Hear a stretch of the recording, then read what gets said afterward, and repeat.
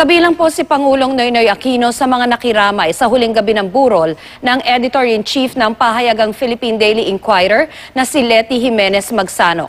Alas 9.30 kagabi nang dumating ang Pangulo sa Lamay. Pagpupugay sa batikang mamamahayag ang laman ng mensahe ng Pangulo. Nagkaroon din ng mga eulogy at ilang pagtatanghal. Inalala ng ilang malalapit na kaibigan ni Jimenez Magsanok ang kanilang naging karanasan lalo na noong martial law.